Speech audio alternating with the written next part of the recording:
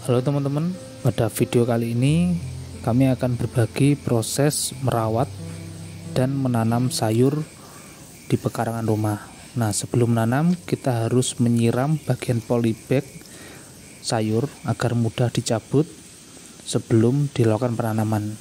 Tujuannya agar akar-akar yang ada di polybag tidak sampai patah saat dicabut.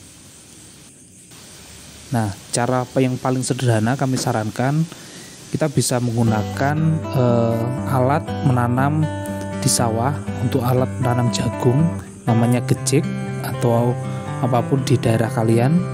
Nah, ini untuk memudahkan saja biar uh, kedalaman lubang terus kemudian diameter lubang bisa diatur. Nah, prinsipnya bagi kami eh, sebisa mungkin memanfaatkan lahan kosong di sekitar rumah kita.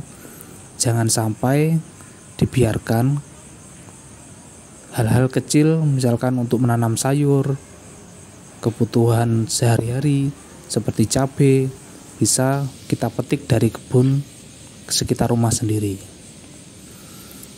Nah ini proses menanamnya. Ini kondisi tanah masih kering ya, masih kering. Untuk itu setelah proses penanaman sayur selesai, butuh disiram dengan air secukupnya, jangan sampai terlalu basah, juga jangan terlalu kering.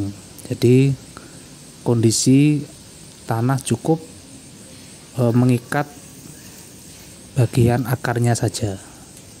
Kalau terlalu basah, e, dikhawatirkan nanti tanahnya akan terlalu padat dan membuat akar untuk awal-awal sulit berkembang. Nah, kita siram ala kadarnya saja.